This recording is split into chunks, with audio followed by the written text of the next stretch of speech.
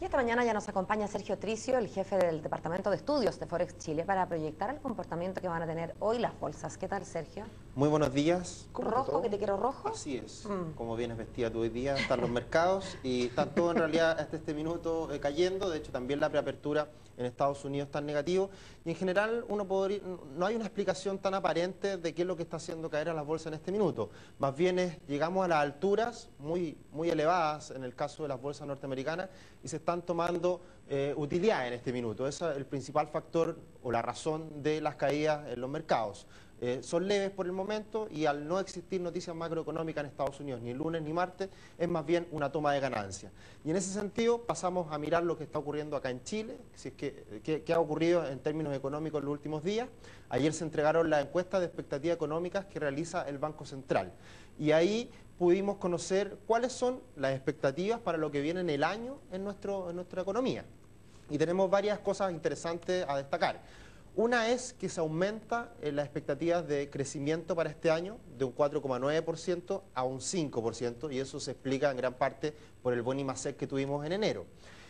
El IMASEC para febrero ya se espera de un 5,4%, es decir, caería de manera considerable respecto al 6,7% reciente, y la inflación en el mes de marzo estaría en un 0,4% y a 12 meses se espera que, que esté en torno al 3%. Es decir, todo más bien estable y dentro de lo que ya se venía esperando desde un tiempo atrás y todo sigue la evolución normal. En ese sentido, va a ser siempre importante lo que ocurra con la tasa de política monetaria mañana en Chile, que se espera se mantenga en el 5%, pero el comunicado es lo relevante.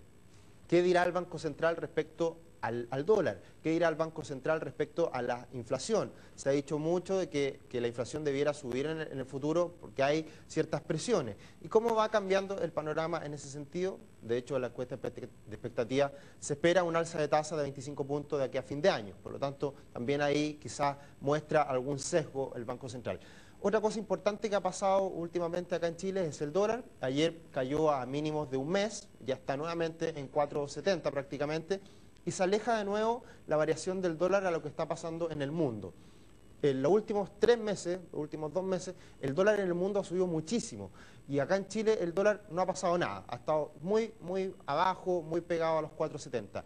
¿Y a partir de qué? ¿Qué es lo que ocurre en ese contexto? Es que finalmente Chile sigue mostrando buenas cifras. La tasa va a seguir en 5% y no cambia esa, esa visión de lo que es Chile respecto al mundo. Por lo tanto, esa es un poco yo creo que va a empezar a inquietar quizás al Banco Central en que obviamente si el dólar sube en el mundo, acá en Chile también debería ocurrir. Y si eso no está pasando, eventualmente por ahí nuevamente podría aparecer ese, esa sombra, esa, esa, posibilidad de la intervención cambiaria. Yo creo que eh, también podría dar ahí alguna señal el Banco Central mañana en su comunicado. Así que eh, en general las expectativas siguen siendo favorables para nuestra economía. Eh, el próximo 18 de marzo se entrega el PIB del año pasado, se espera un PIB en torno al 5,6% y va a ser importante también ya posteriormente en el, próximo IPOM cuál va a ser la visión del Banco Central respecto a la evolución de este año para la economía nacional. Vamos a estar atentos entonces al informe mañana. Por supuesto, ahí lo veremos. ¿A qué hora es? Eh, mañana la tasa es a las 6 de la tarde. Ah, ¿ya? Así que claro, ya el viernes probablemente comentemos el, comunicado y, veremos si hay algún cambio en la visión de parte del Banco Central. Hoy día es eh, solamente importante las ventas minoristas en Estados Unidos que salen a eso a las 9 y media de la mañana. Gracias, Sergio. Que, estén bien. Chao. Adiós.